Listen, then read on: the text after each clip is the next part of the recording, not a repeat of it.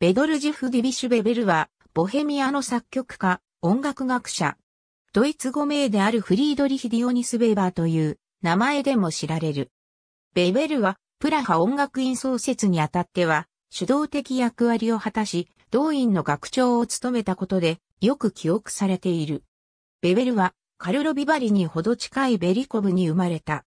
彼は、プラハで哲学と法学を学んでいたが、本格的に音楽に関心を向けるようになってからは、ゲオルク・ヨーゼフ・ホーグラーの下で研鑽を積んだ。彼は、プラハでモーツァルトに出会ってから、モーツァルトの音楽に浸水するようになり、ベベル自身の作品にも、その時期に深く根ざした影響が現れている。彼は、ベートーベンやウェーバーの作品には敵対する立場を取ったが、ワーグナーの楽曲には熱狂していた。1832年、ベベルは、プラハ音楽院の学生演奏会において、ワーグナーの公共曲派長長の初演を指揮している。音楽院とプラハオルガン学校の両校の学長として、ベベルは、プラハにおける高等音楽教育を効果的に取り仕切っており、当時のプラハの音楽界において最も影響力のある人物であったということができる。また、彼が表した音楽理論に関する数冊の教科書は当時重要視されていた。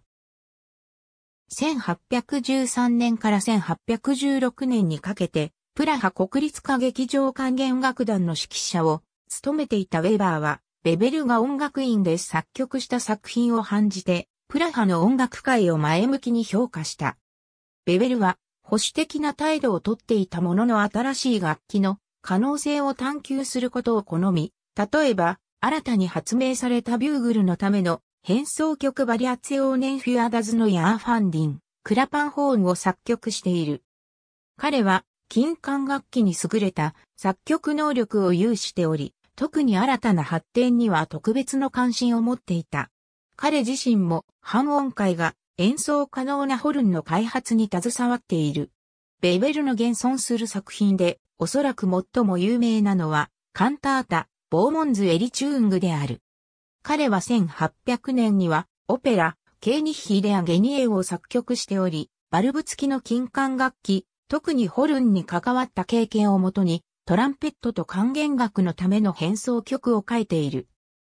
1823年から1824年にかけて、ヴェベルは、他の50人の作曲家らと共にアントン・ディアベリのディアベリのワルツによる変奏曲集に参加した。ベベルの弟子の一人であるヨーゼフ・カイルは、バルブ付きホルンをウィーンへと持ち込み、二つのピストンを備えたウィンナホルンを開発した。